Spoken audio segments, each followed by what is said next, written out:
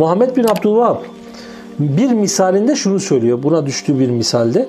Diyor ki Peygamber aleyhissalatü vesselam vefatından 5 gün önce yapmış olduğu konuşmasında en şerli bidat ehli olarak iki taifeyi reddiye bulunmaktadır. Bu iki taife kimdir kardeşler?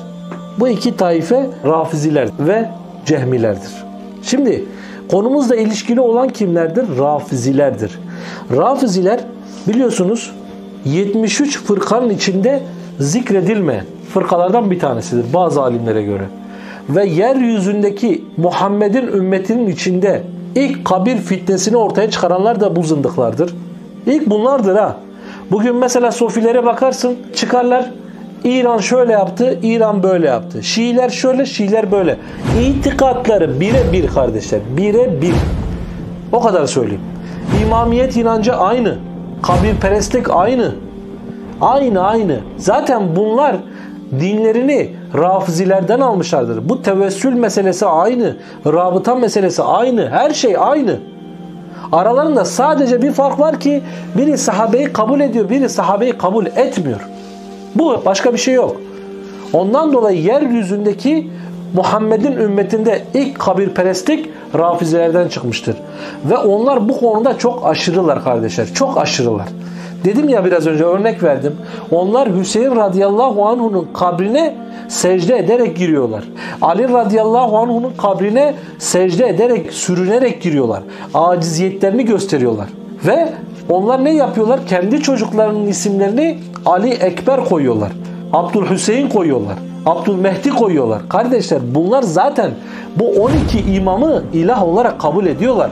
Onun için gidip kabirlerinden sürekli yardım istiyorlar. Onlara ibadet ediyorlar, secde ediyorlar. Toprakları alıyorlar, getiriyorlar. Topraklarını çocuklarına danik yapıyorlar, ağızlarına koyuyorlar. Topraklarını diyorum ha. Biz hurma yaparız, onlar o kabrin toprağını yaparlar. Bunlar bu kadar taşa toprağa tapıyorlar. Bu kadar taşa toprağa kalpleri, gönülleri hep bunlarla beraber. Aynı tasavvufçular hiçbir fark yok. Onlarda da seyitlik inancı var, onlarda da var. Onlarda da şu var, onlarda da bu var. Şunu söylüyoruz her zaman. Biz ehli beyti seviyoruz. Ehli beytle bizim bir sıkıntımız yok. Bizim sıkıntımız kiminle? Bizim sıkıntımız Allah'a şirk koşan müşriklerle, başka kimselerle değil.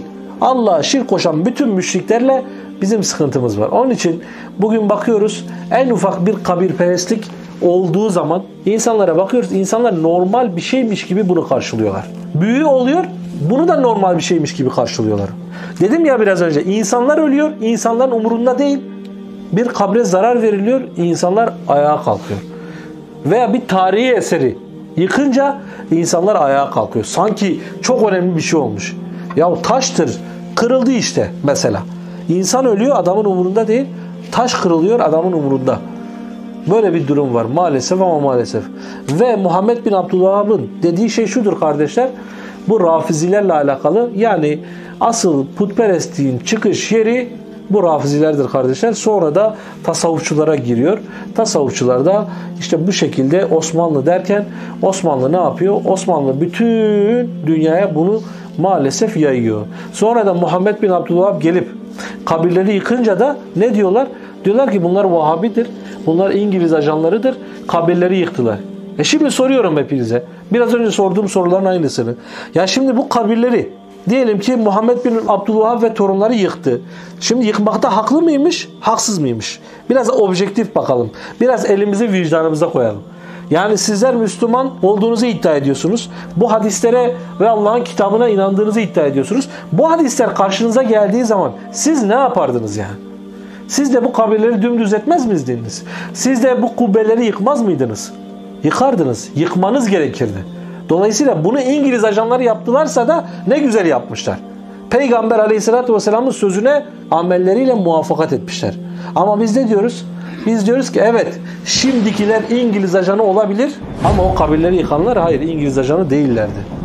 Onlar Osmanlı'yı beğenmiyorlardı.